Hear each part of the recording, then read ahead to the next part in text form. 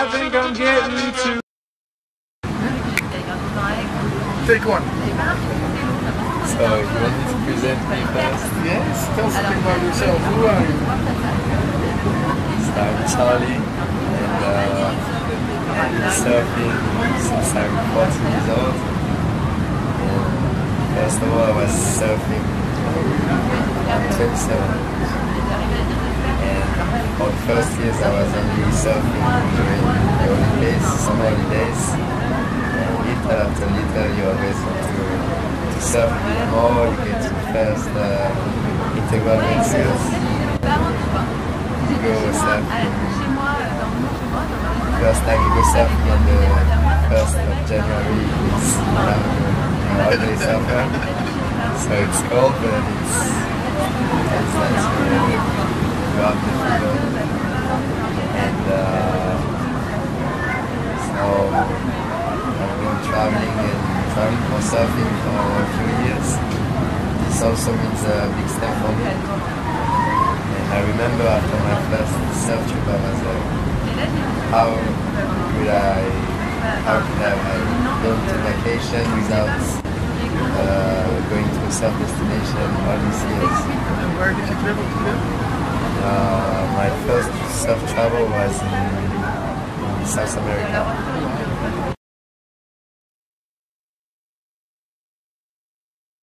What is for you, I mean, if I say the future of surfing, what does that do for you? What does that mean for you?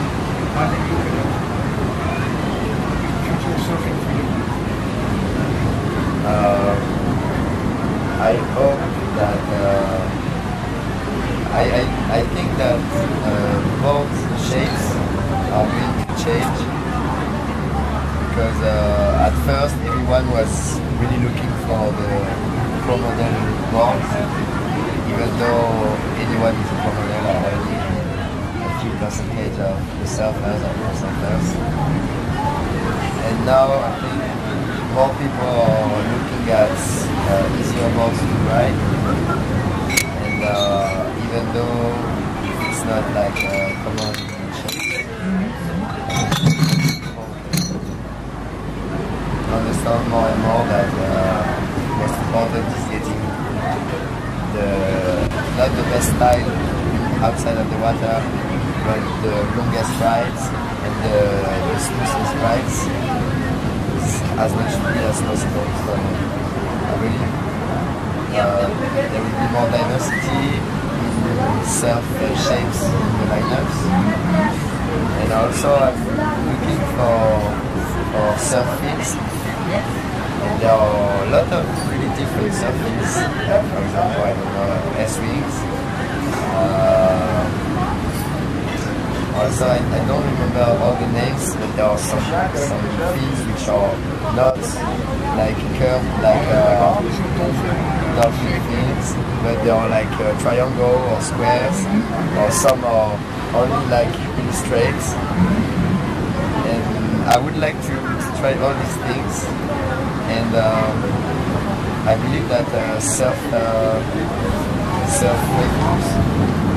would be like such a great thing to reproduce all the all the same waves.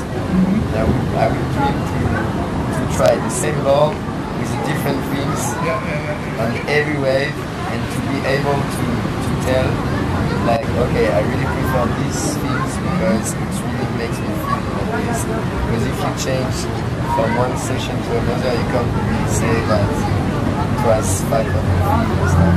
So wave pools for me are really important or really interesting in this approach, uh, scientific approach.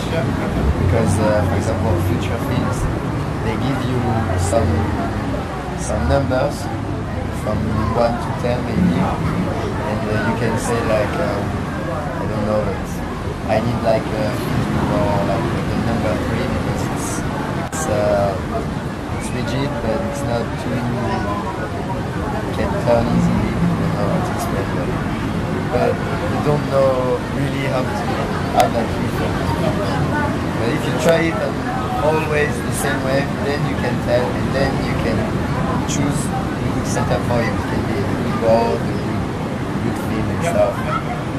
But I remember also when I was when I thought of before, you asked me about what I was loving in surfing. And what I love in surfing more is like uh, sometimes it makes you wake up at 5 in the morning for no reason, just because there are some nice forecasts.